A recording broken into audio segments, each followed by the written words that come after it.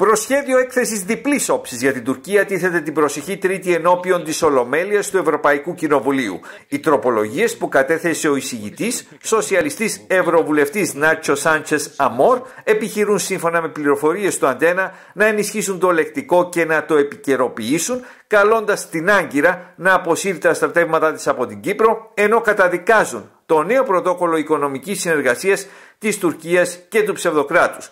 Παράλληλα, το κείμενο διαπιστώνει ότι παρά την αποκλιμάκωση της έντασης υπάρχει μια νέα σπίθα στην Ανατολική Μεσόγειο. Στο Κυπριακό υποδεικνύεται προς την Άγκυρα ότι η λύση δύο κρατών είναι απαράδεκτη και καλείται να επανέλθει στο πλαίσιο διζωνικής ομοσπονδίας με σημείο κίνησης το Κραν Μοντανά.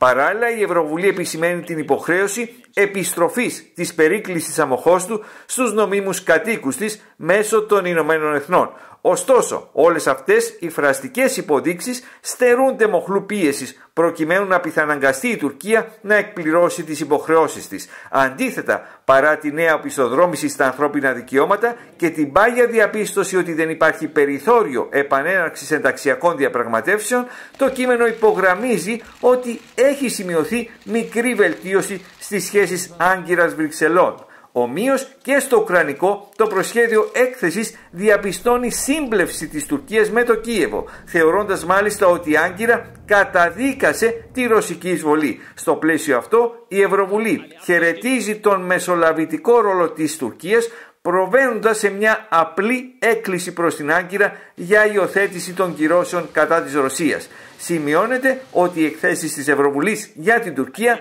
δεν είναι νομικά ούτε πολιτικά δεσμευτικές.